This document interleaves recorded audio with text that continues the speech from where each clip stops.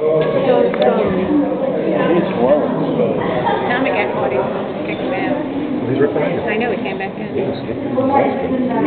Um, this is Merneptah. Merin Ptah is the 13th son of Ramesses the Great, Ramesses the Second.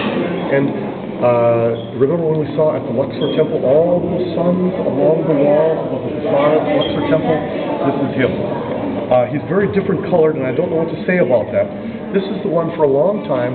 People said, "Oh, that must be the one from the Exodus." Remember the Exodus, where uh, the Israelis or the, the, the Jews leave from from Egypt into Palestine or into Israel? Why is it not him? Well, do you remember that story? What happened to the body?